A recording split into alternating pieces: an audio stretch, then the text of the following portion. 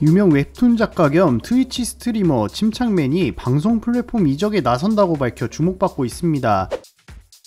최근 침착맨은 자신의 트위치를 통해 생방송을 진행하며 트위치는 올해까지만 방송하겠다라고 선언했는데요. 침착맨은 2015년 9월 인터넷 방송 플랫폼 트위치와 정식 계약을 맺어 활동 중이며 유튜브 채널을 함께 운영 중인 상태입니다. 현재 구독자 191만 명을 보유하고 있을 만큼 인기를 구가하고 있죠. 그런데 최근 침착맨은 앞으로는 트위치 구독하지 말아라라며 어디로 가냐면 그래도 유튜브 라이브로 가야 할 것 같다라며 유튜브 라이브 방송 플랫폼을 옮기겠다고 선언했습니다. 이어 저도 생각이 완벽하게 정리된 건 아니다. 대안이 없다라며 아프리카 TV로 가지 않은 것에는 여러 가지 이유가 있는데 좀 걸리는 것 중 몇 가지는 아프리카 TV의 중계방과 퀵뷰 시스템이라고 설명했습니다. 아프리카 TV의 퀵뷰란 인원수가 꽉 찬 풀방에 입장할 수 있는 일종의 입장권으로 입장 인원이 마감되면 중계방으로 이동되지만 퀵뷰가 있으면 바로 본 방송에 입장이 가능합니다. 이 중계방에서는 시청자가 채팅을 쳐도 BJ가 볼 수가 없어서 상호 소통이 불가능하죠. 침착맨은 이런 시스템 때문에 예전에 방송할 때도 그런 것들이 스트레스였다. 시청자가 채팅을 쓰는데 내가 읽지 못한다라며 퀵뷰도 내가 사서 주든 뭘 하든